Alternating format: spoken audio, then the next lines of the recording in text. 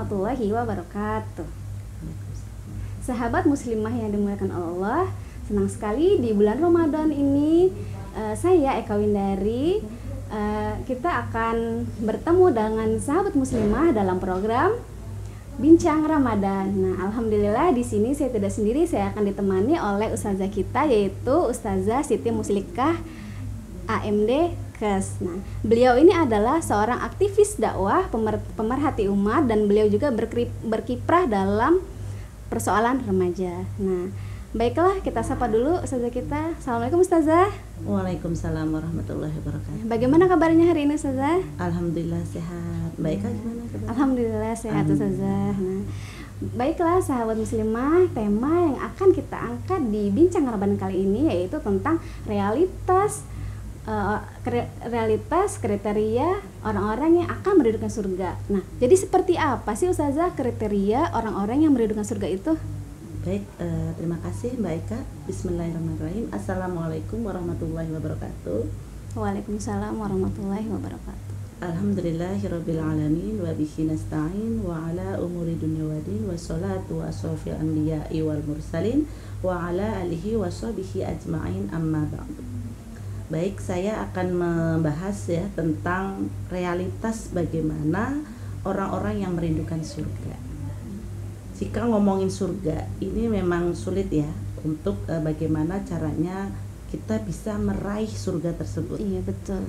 Ya, jadi uh, inilah yang kemudian kita bisa melihat realitasnya itu adalah tingkatan kualitas iman seseorang yang dia ini mengaku beriman kepada Allah. Iya, betul. Artinya di sini adalah keimanannya ini adalah dia memahami rukun iman iman kepada Allah, iman kepada malaikat, Rasulullah, kitab, kemudian kodok kodar dan eh, hari akhir ya, hari kiamat. Iya.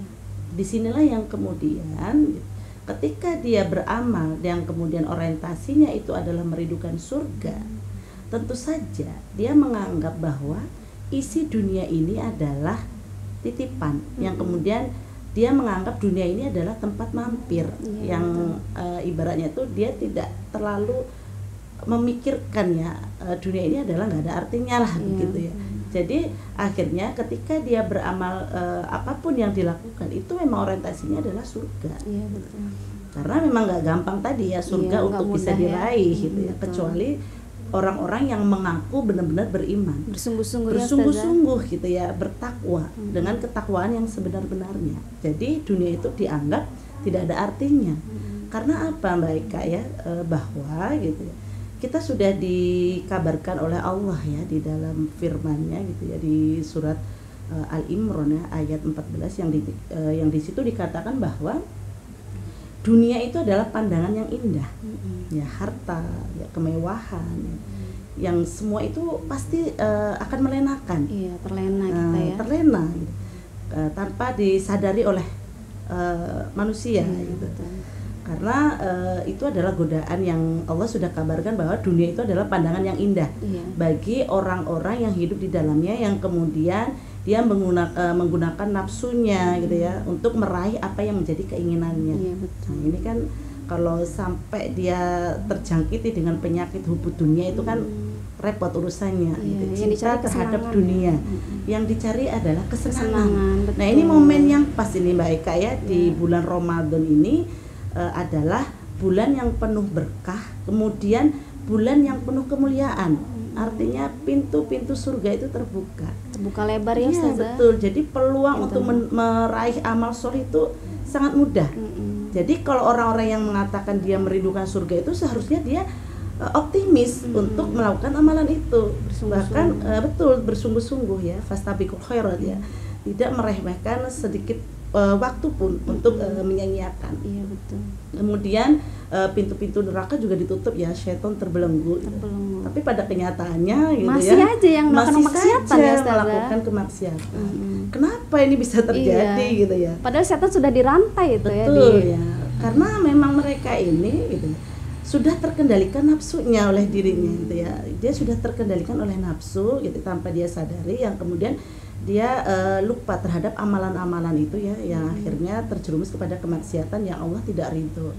Jadi surga itu adalah ketika Allah ridho untuk kita bisa meraihnya. Ridhonya Allah itu adalah ya tadi keimanan. Dia menyandarkan keimanannya itu benar-benar bahwa aku melaksanakan perintah Allah. Aku uh, menjauhi segala larangannya apa pun itu konsekuensinya adalah aku mentaatinya mm-hmm. ya jadi tanpa tapi tanpa nanti iya, betul. jadi kalau masih tapa tanpa tanpa tadi ya tapi tapi nanti, tadi nanti, ya repot ya. urusannya iya, gitu ya, betul. ya akhirnya mm. ini momen yang pas dianggap remeh nggak nggak nggak nggak ketemu gitu ya.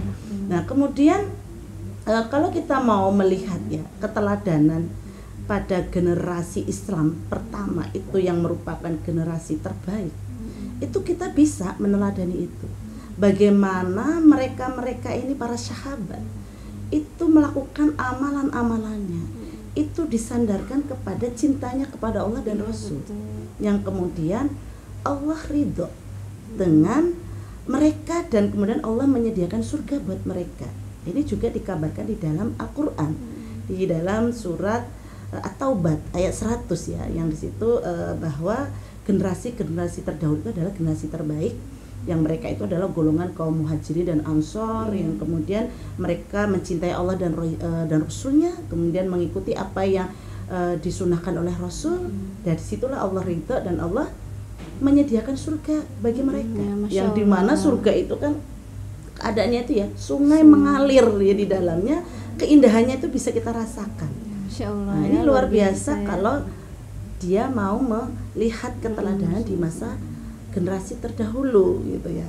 Kemudian uh, bagi orang yang sudah beriman nih, berarti dia ini harus melihat bagaimana Allah juga berfirman ya di dalam uh, Al-Qur'an ya di surat Al-Imran uh, ayat 133 ya sampai 136 itu digambarkan bahwa kita diperintahkan untuk Bismillahirrahmanirrahim wasari'u ila maghfiratin min rabbikum wa jannati wal ardu as-samawati wal ardu uidatul muttaqin yaitu bersegeralah kamu ke dalam ampunannya yang di situ ada surga yang surganya itu adalah seluas langit dan bumi untuk Masya siapa? Uidat limutakin untuk orang-orang yang beriman, bertakwa, iya. beriman iya. gitu loh. Ya Masya Allah ya luar biasa ya tuh. Ini bulan ini adalah momentum untuk kita itu untuk memperbaiki diri. Baiklah sahabat muslimah, kita akan lanjut pembahasan kita setelah jeda berikut.